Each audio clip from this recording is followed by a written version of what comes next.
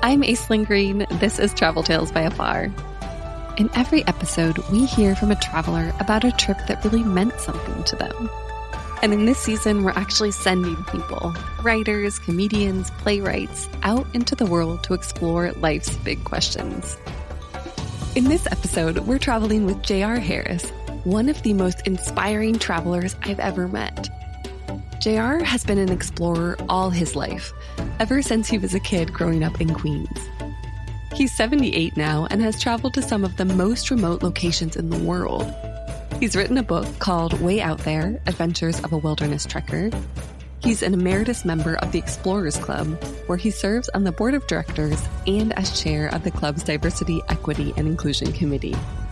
He also travels around the world giving talks and inspiring other people to go adventure but he has a particular love of Arctic climates and road trips, which recently coincided on a trip to Canada and Maine. Here's what he found.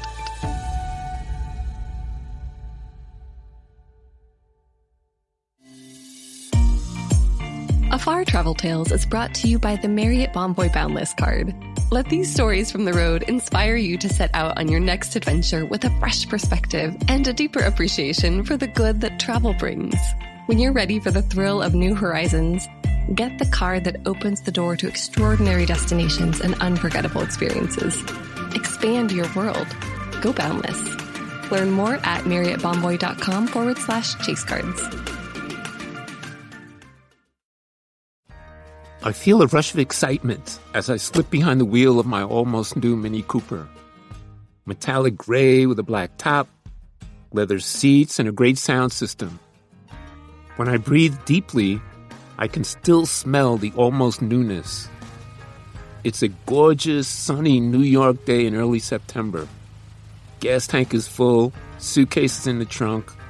All that's left is to select a music track, put the car in gear, and head for the highway. My week long trip will take me to Canada, New Hampshire, Massachusetts, and Maine. I've done lots of road trips in my 78 years, but the thrill is still there. Now, I'm a guy who has a Jones for travel. I think of myself as a rolling stone. Wherever I lay my hat is my home. When the dust hits my shoes, I've got the urge to move. So whether I'm traveling by plane, train, bicycle, skis, canoe, skateboard, on foot, or whatever, it's all good as long as I'm going someplace. But what I really enjoy is a road trip. Just get in my car and go. My first trip was back in 1966, right after I graduated from college. I had an old Volkswagen Beetle back then 40 horsepower, two doors, stick shift in the floor. It was my first car, and I drove it from my home in New York City to the very end of the northernmost road in the Western Hemisphere, about 100 miles north of Fairbanks, Alaska. I went there for one reason. I wanted my little beat up car to be the farthest north on the continent with no other vehicle between me and the North Pole. I obviously don't need much of a reason to hit the road, but this time I have one. More on that soon. That first drive was a hell of a trip. Alaska in the 1960s was much more desolate than it is today, a true wilderness. People I saw up there were mostly indigenous and a few hardy outsiders who had gone north to get away from the civilized world. Back then, free land was still available to homesteaders, and Alaska's oil had yet to be discovered. It was about 9,000 miles round trip and I was gone for several weeks. I had very little money, so I was sleeping in my car and doing odd jobs along the way to make enough to get back home. It was the trip of a lifetime, and I was only 22. It's now 56 years later, but I still feel the juice rushing through my arteries as I release the emergency brake and slowly glide away. I like music while I'm driving. During my Alaska journey, a popular tune at the time was called I'm a Road Runner by Junior Walker and the All Stars. For this trip, it's going to be another great traveling tune, Truckin', by the greatest band in rock and roll history, the Grateful Dead. Traffic is fairly light as I head for the Grand Central Parkway and the Bronx Whitestone Bridge. I drive through the neighborhood where I grew up in Queens, past the building where I lived with my parents and two siblings in a cramped, two bedroom apartment in a city owned public housing project. This is where I departed for Alaska all those years ago. I was born with an urge to wander. It's as simple as that. As a kid, I always wanted to be an explorer. I used to read about the Lewis and Clark expedition that took place in the early 1800s and the trappers, traders, and mountain men who followed them into the Rocky Mountains. I also read about York, who went with Lewis and Clark, and about Matthew Henson, the African American explorer who accompanied Robert E. Peary to the Arctic in 1909 and is now considered the co discoverer of the North Pole. Curiously, Neither of these guys were ever mentioned in school. I had to find out about them on my own. The more I read, the more I wanted to explore. I imagined it would be an exciting and adventurous life. But to be honest, it wasn't a very realistic dream for a young guy like me, an African American from a working class family. My folks didn't have much education, Mom worked for a time in a factory where she assembled ballpoint pens. My dad, I called him Pops, was a waiter in the dining car of an overnight train that ran between New York and Chicago. When air travel became popular, he and the other waiters lost their jobs, and for the next 26 years he drove a truck, a job he liked. In fact, he's the one who instilled a love of driving in me. But I didn't know anyone who was an explorer, and I didn't have a clue how to become one. My parents insisted that if I wanted it badly enough and I tried hard enough, I could make this dream a reality. When I was 14, they enrolled me in the Boy Scouts and sent me to summer camp in the Catskill Mountains. They felt that summer in the inner city was not a wholesome environment for a teenage boy. I had never been in the mountains and I wanted to stay home and hang with my buddies. So I went kicking and screaming. But my initial reluctance vanished when I started learning the skills needed to survive in the outdoors how to read a map, use a compass, make a fire in the pouring rain. Next thing I knew, I was doing extended backpacking trips in the wilderness. That's when I began to believe I could really become an explorer. Years later, I won a scholarship to college. I studied social psychology and became fascinated by people who managed to carve out an existence in remote environments around the world. After that, it was easy to combine my love of travel, the survival skills I learned in the Scouts, and my curiosity about people living off the grid. A week after I graduated, I jumped into my VW and drove to Alaska. I was living my childhood dream to explore. Since that first trip, I've done more than 40 expeditions worldwide. I've taken most of them alone, visiting remote locations in places such as Greenland, northern Canada, Lapland, the Australian outback, Iceland, the Andes Mountains, Patagonia, and Tasmania. I even wrote a book about my travels called Way Out There Adventures of a Wilderness Trekker. But I have a special love for the Arctic, which is the very reason for this road trip. I'm across the Whitestone Bridge and heading north toward my first stop, Montreal. It's funny how I'm always drawn north. Have been since I was a kid reading about the Arctic explorers.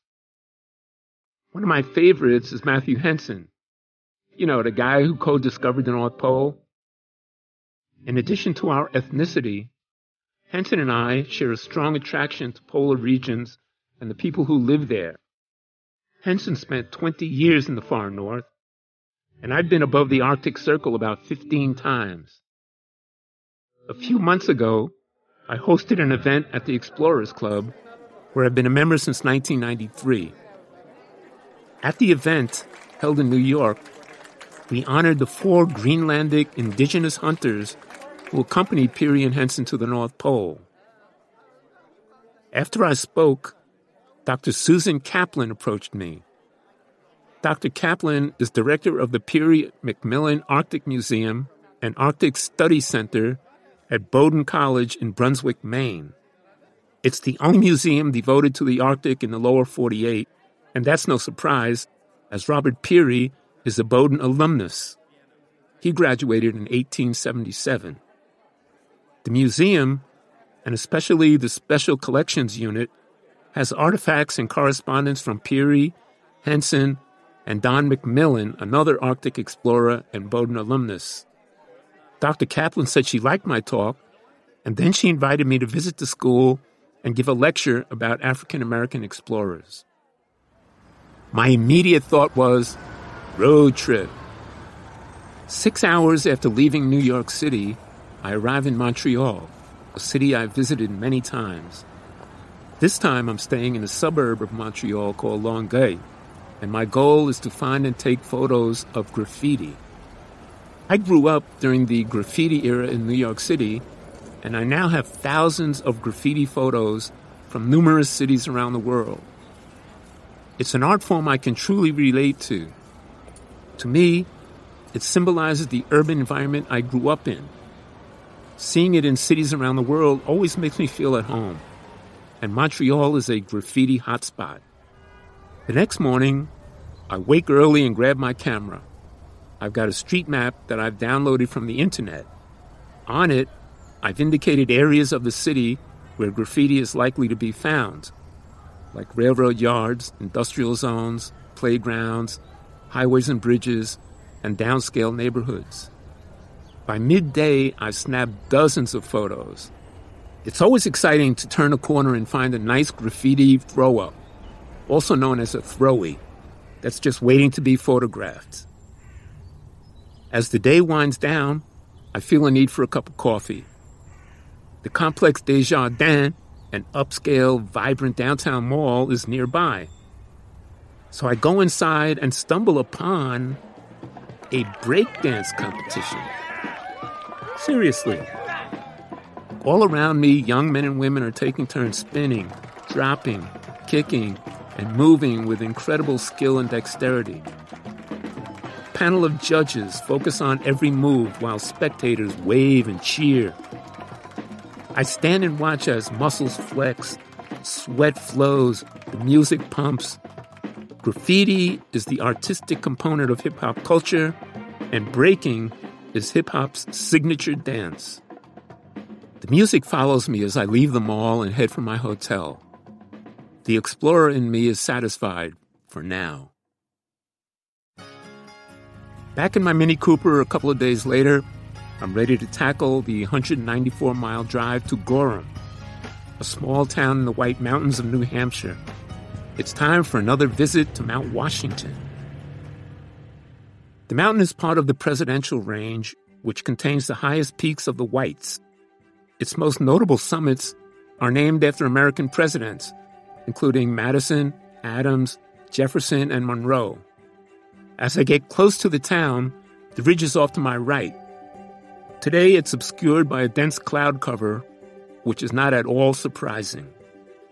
At 6,288 feet, Mount Washington is the highest peak in the northeastern United States. It is also the most topographically prominent mountain east of the Mississippi River, and for this reason, it is notorious for its erratic weather. On the afternoon of April 12, 1934, the Mount Washington Observatory recorded a wind speed of 231 miles per hour at the summit. This was the world record until 1996. Mount Washington still holds the record for the highest measured wind speed not associated with a tornado or tropical cyclone. I've actually climbed to the summit of Mount Washington four times in six attempts, all of them in midwinter. This time I have a less extreme but still challenging objective to drive the 7.6 mile Mount Washington Auto Road to the top. The road is very steep and it has no guardrails. Inclement weather makes the drive even more, shall we say, sketchy. But if you get to the top, you can claim the coveted bumper sticker that says, This car climbed Mount Washington.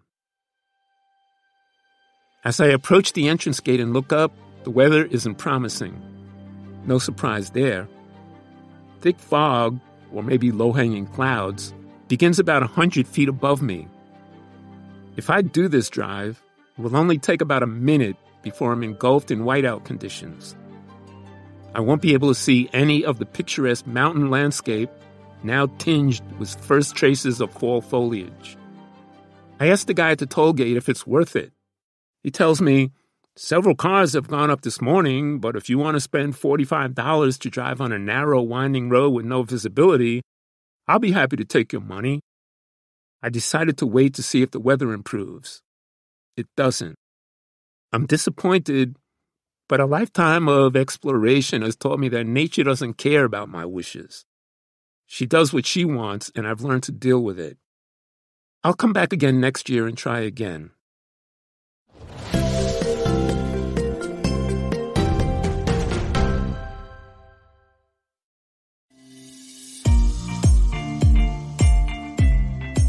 Has this episode of Afar Travel Tales already got you planning your next adventure? We hope that hearing these firsthand stories of life changing trips will make you think about not just where you want to go, but why you want to go. Whether you're seeking a new state of mind or the opportunity to immerse yourself in a different culture, let the Marriott Bonvoy Boundless card take you to a place where you can look deeper, listen closer, and care more. Because when we explore with passion and purpose, we create a deeper connection between ourselves and the world. Expand your world. Go boundless. Learn more at marriottbonvoy.com forward slash chase cards.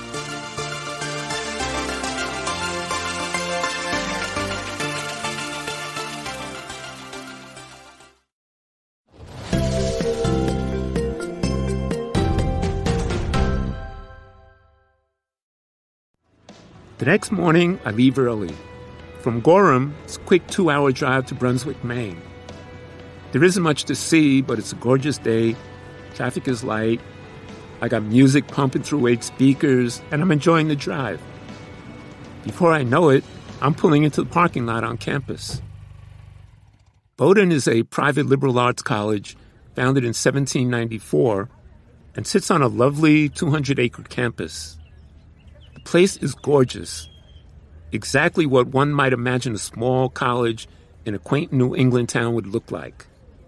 There's a spacious, grassy quadrangle surrounded by a mix of modern and 19th century halls and dormitories. The trees are in full fall colors. It's not hard to dream about being a student here. My speech isn't until 7:30, so I walk around the campus. It's outrageously cool to see my image on flyers posted on doorways, windows, and hallways. It occurs to me that black explorers from the past would never get this recognition. Seeing these flyers humbles me while also making me feel like a minor celebrity. That feeling continues as I step into the auditorium that evening. A sizable crowd has shown up for my presentation. Dr. Kaplan and I are a bit surprised because the fall semester has just started and many students are not yet on campus. Those flyers have obviously worked. A young IT guy gets my presentation uploaded and my microphone hooked up, and I'm ready to go. My talk is called Sambo or Superman The Rocky Road to Recognition. I spend the next hour sharing the lives of the very few African American explorers in history. Explorers like Matthew Henson, Jim Beckwourth, and York, who was a member of Lewis and Clark's Voyage of Discovery in the early 1800s. I explain how the accomplishments of black explorers have often gone undocumented, and even when they were recorded, those records were often inaccurate or distorted. Then I draw from my own expedition experience to spotlight a group of African Americans whose labors in the wilderness on behalf of their country have been lost in historical oblivion. As the lights come up, I get a standing ovation. The audience is enthusiastically clapping and cheering. Even though I've given this talk numerous times, I'm still thrilled to share the lives of the people who inspired me to become an explorer. I spend a long time answering questions about black explorers and about my own background as a city kid who grew up to become a wilderness traveler and explorer. There are so many young faces in the audience, and they're so engaged. It fills me with warmth to think that maybe I've inspired a few of them to search for their own passion in life and to attain it. Hey, I'm just an ordinary guy, and I believe that if I can do it, they can do it too. The next morning, I finally get to visit the Peary MacMillan Arctic Museum. Dr. Kaplan and curator Dr. Genevieve LeMoine meet me for the tour. The museum is small but is rich with history. It's been a repository for natural history items collected in the Arctic since the 19th century. As I look around, it's almost overwhelming. The museum collection includes 41,000 objects, 9,000 photographs, and dozens of reels of motion picture film. One of my favorite exhibits is the Hubbard sledge. Sledges are like really large, sturdy sleds used to haul heavy loads of equipment and people. And the Hubbard sledge is believed to be one of those Peary and Henson used to get to the North Pole. Then I make friends with a polar bear. Well, a stuffed one. It's also the college mascot. Pretty cool. No pun intended. There are no other visitors, and Dr. Kaplan and Dr. LeMoine encouraged me to take my time. It's like traveling to the past, and it's easy for me to imagine what it was like to be an Arctic explorer in the early 1900s. I love seeing firsthand the equipment these intrepid men used and the clothing they wore. I think about how different my own trips to the Arctic were and how the gear and clothing have changed over time. When I finish at the museum, I head over to the Special Collections Unit in another building. Once again, I'm left on my own, this time to pick up and read letters written by Matthew Henson in the years following his North Pole trip. He wrote a number of them to Donald MacMillan, expressing gratitude to MacMillan, who was instrumental in helping Henson finally get the recognition he deserved. It feels eerie to hold these old handwritten letters in my hand. I can't help but notice that, as the son of sharecroppers, Henson's grammar, syntax, spelling, even his penmanship were all excellent. After a quick lunch in the cafeteria, I have one final meeting with a student organization called the Bowdoin Outing Club. The club has more than 400 members and offers more than 150 excursions per year to encourage Bowdoin students' spirit of discovery. Their meeting hall is right up my alley. Lots of camping equipment stacked outside, as well as stacked kayaks and canoes. Inside the hall is a large open room. Trophy heads of various animals are mounted on the walls. About 40 or 50 students are sitting on the floor in a large circle. I join them and ask them if they ever got scared while being in the outdoors. Nearly everyone nods. Me too, I say. In fact, I've been scared so many times, I consider myself an expert at being afraid. I share one of my scariest experiences. The time I lost my pack in the mountains of southwest Tasmania and almost perished from hypothermia. We spend the next hour having a fascinating discussion about fear. We talk about what it is, how it manifests itself, the different types of fear, and what can be learned from fear. It's obvious these students have never given much thought to fear. Not many people do. They ask me if I have any advice I can give them. I tell them that fear, like anything else, is something that can be dealt with rationally that courage is not the absence of fear, but the acceptance of it, And most of all, that one should never be afraid of being afraid. My final destination is Bar Harbor, Maine, 157 miles north of Brunswick. Bar Harbor is adjacent to Acadia National Park, a place I've always wanted to visit. The park protects the natural beauty of the highest rocky headlands along the Atlantic coastline. Although small in size, the park gets 4 million visitors a year, making it one of the top 10 most visited national parks in the United States. After a three hour drive, I pull into the quaint, touristy seacoast town of Bar Harbor. It's got a marina and a seaside path that offer picturesque ocean views.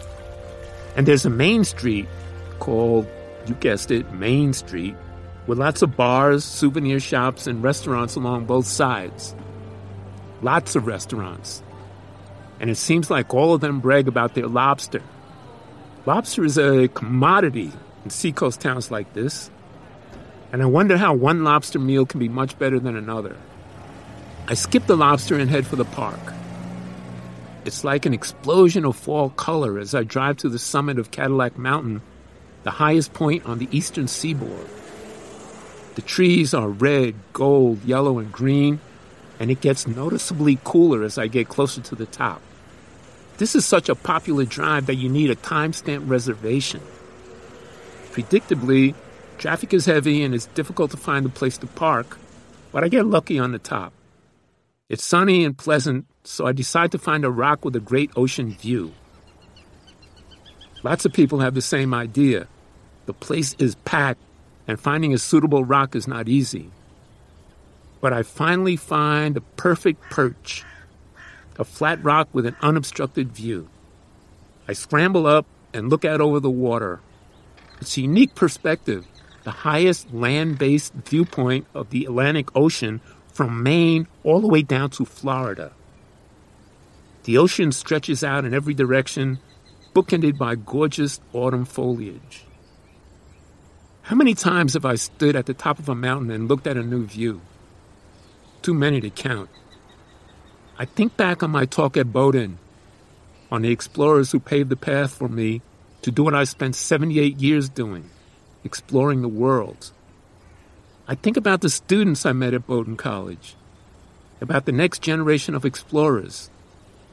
I've built on the legacy of explorers who came before me, and I dare to hope that I might have influenced a few students to spend more time outdoors and while out there to not be afraid of being afraid. Warmed by the sun in my memories, I climb down from the rock. There's one final item on the agenda, and it's not too shabby. The 500 mile drive back home, accompanied by the never ending sheer joy of being on the open road.